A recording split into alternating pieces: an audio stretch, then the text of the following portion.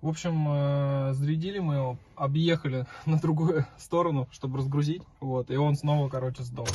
Или это аккумулятор, как заводской брак, или генератор не дает зарядку, я не понимаю. Только вот где, где он стоял, когда я показывал картошку в нем, там было, была возможность его как бы, ну, кабель дотащить, зарядить, а здесь нет, нечем его зарядить просто.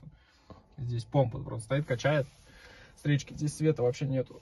Вот, и сейчас будем или с трактора снимать аккумулятор, или будем что-нибудь думать, я не знаю, или его аккумулятор снимем э, и повезем заряжать. Вот.